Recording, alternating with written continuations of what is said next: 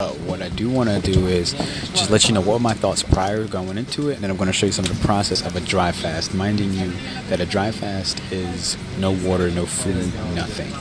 Um, I eventually did make it to 59 hours, 58 hours, give or take, but I just want to go ahead and give you some of that process. So stay tuned, check it out. Hey, what's going on? So I'm currently uh, I'm almost 36 hours in, about 35 and a half. The dry fast is a lot simpler than what you would think it is. The initial is the tough part. I think it's easy when you start going by from obviously when you first get your first rest, your first sleep. So your second sleep covers a lot too, right? If you're sleeping about eight hours. Uh, yesterday I took a nap for about I tried to set it for 20 minutes and then I just was like, man, which is unusual for me because of the energy of the food. But um, it was about an hour yesterday. So today when I woke up, I was at 30 hour point at 6 a.m. Now it's about noon. And just to give you an example, you know, I did spend some more energy out in the sun because I had a meet up with my market. I'm helping Pernell with some of the marketing for the sales copy uh, with. The number one problem that you have right now is it takes you too long to work out in the gym. So, because you want this free report, I'm going to go ahead and show you a workout, bodyweight movements, in 20 minutes or less to get yourself from a place of just wanting more to having more. It's going to be that simple. And because you're taking action today, I want to go ahead and give you a bonus. And that's going to be the light theory, something, a system that I created in order to get yourself to start to rewire your subconscious mind and have your life work for you instead of you working for life. It's very simple. Go ahead, drop your email in there right now, and I'm going to send that to you right away. And we spend time in the sun, so when you leave the AC, your energy drains a little bit faster. And I was getting ready to break the fast, but I was going to do it. When I do break the fast, I'm going to do it with some warm water and some apple cider vinegar. One, not only is it a probiotic, but two, it helps the alkaline balance. And so um, you want to rebalance that properly. The snake diet is a, is a big guy. I could put the link in the bio. He's really good and interesting at. I think he does with like baking soda and something else.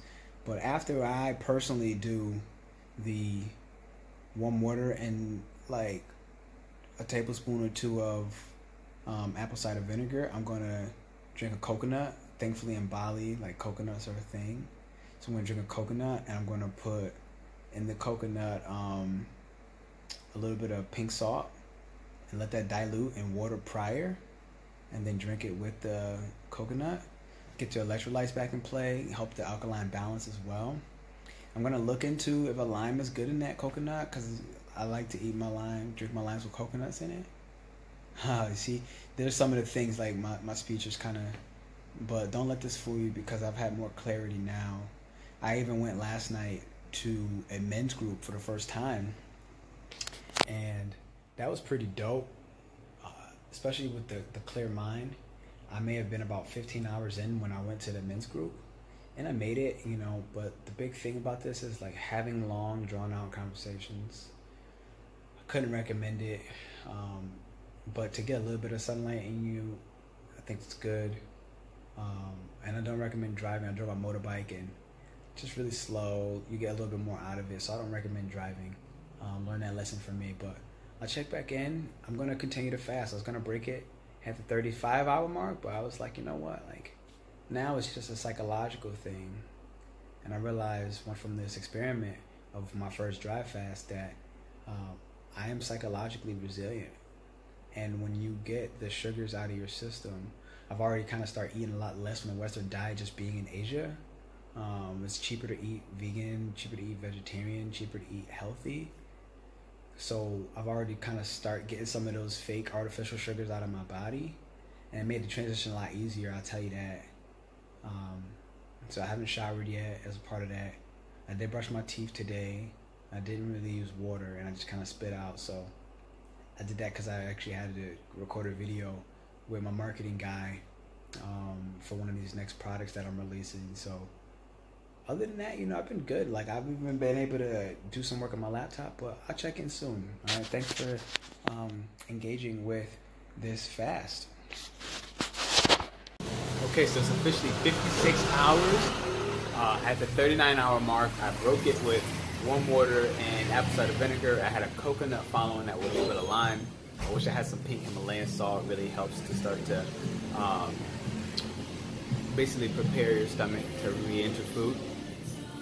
As well as the electrolytes, it starts to help that alkaline balance. You notice there, this is my first juice. It's going to be a ginger, dragon fruit, cucumber juice. Now, what's important about this is you want to not have the fibers come out, so it's not a smoothie, it's a juice. I Had to go through a food processor first, then they put it in a blender. Um, just one, two, three natural ingredient. This gives me the opportunity to re-enter food in my body without the extra fibers and mostly I pick cucumber, right? Because 90% of it is water.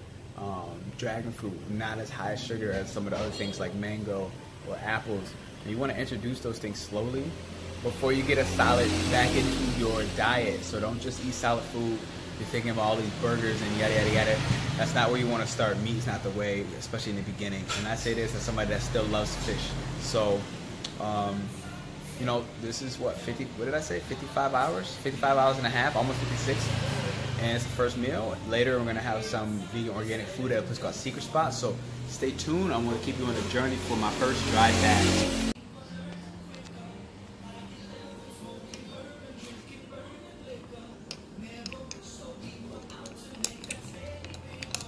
Fresh. I taste the ginger strong. I gotta mix it because I sat a little bit.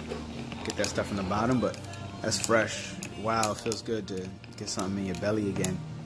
Light it maybe. So other than the two fruit juices I had, notice juiced, not smoothie, big difference. Because uh, you want to not have the fibers coming in, you just want the essentials from the juice. Really is easier for your stomach to settle. This is the first solid meal uh, how many hours are we? I gotta calculate. Hold on.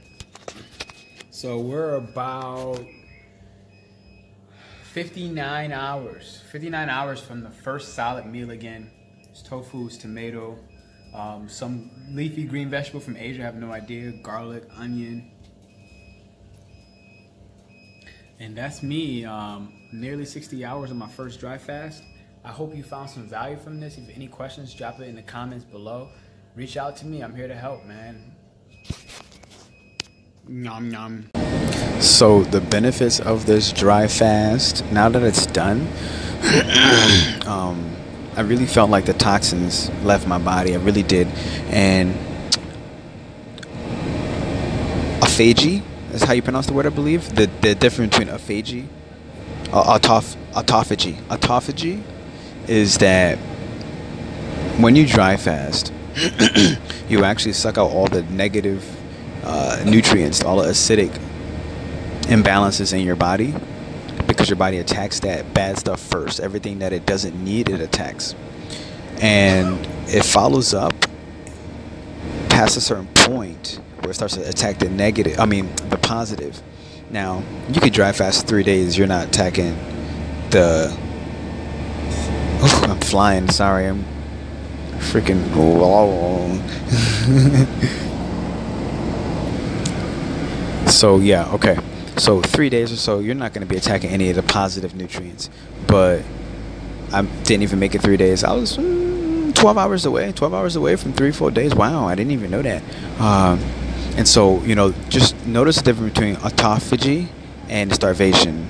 You know there's a point where you really should eat you know what I mean? And when you break it, just don't break it by loading yourself really, really heavy with water.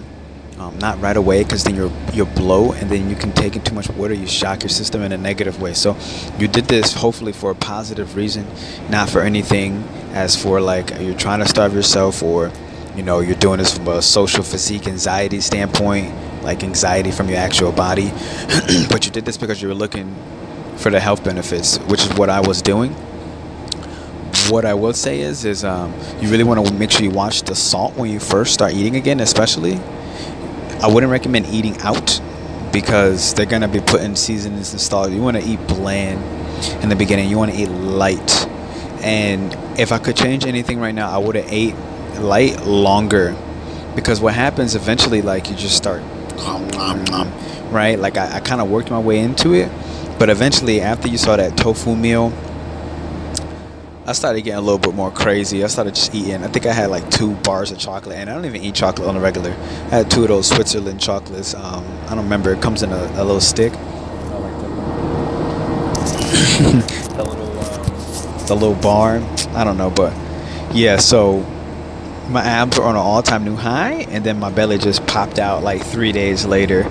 So that's something just to be mindful of. If I could do it again, and I will, I would draw out the food a little bit longer because I was eating from a psychological hunger more than I was hungry.